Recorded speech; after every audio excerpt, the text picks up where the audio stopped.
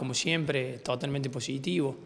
Eh, porque como decía Carolina recién, eh, no solamente en la parte técnica y en la labor nuestra como equipo que, que llevamos allá con respecto a la salud pública, sino eh, la presencia de los estudiantes con, con esta clase de, productores, que es otra arista y otra realidad que tiene el país, y bueno, con el objetivo de mostrarle absolutamente todos los tipos de producciones que hay ¿no? en, a lo largo y lo ancho de Argentina. Y bueno, eh, la convivencia y la estadía y el intercambio que hacen eh, los estudiantes con, con, los productores, la verdad que es totalmente enriquecedor y, y es lo más, por ahí lo más fructífero. Estuvieron los chicos una semana trabajando. ¿Cuál es la devolución que ellos les realizan? ¿Qué es lo que se traen de esa experiencia? Uh, un, un, montón de cosas. Dijo, nada, lo principal es esto, la, la, la, la convivencia con los productores, lo que viven allá, eh, tanto con los productores en los que son residentes como con los que por ahí comparten almuerzos o están muestreando.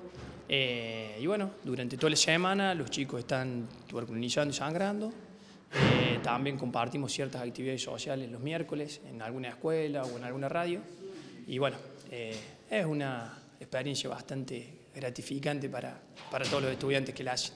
¿Y qué plazos manejan para hacer el cierre de la actividad y la entrega de informes?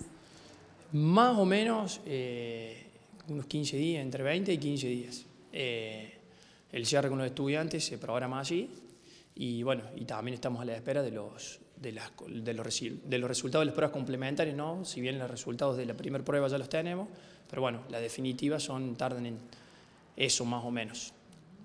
Recién hablábamos de las eh, percepciones de los chicos. ¿Qué dicen los productores, que son los que los reciben? Ya al hacerlo tantos años, eh, ya la tienen yo creo que más clara ellos que, que, los chicos, con respecto a recibir, a romper el hielo, a esperarnos. Eh, ya se nota el trabajo de tantos años, entonces cómo ha cambiado a nivel de infraestructura, a nivel de cómo nos perciben ellos, cómo nos reciben, eh, cómo preparan todas las cuestiones. Así que no, es totalmente positivo, ellos están esperándonos que, que vayamos, ya nos preparan los animales, las medidas de seguridad con los animales, eh, no, ya está bastante aceitados y siempre están a la espera de que, de que vayamos.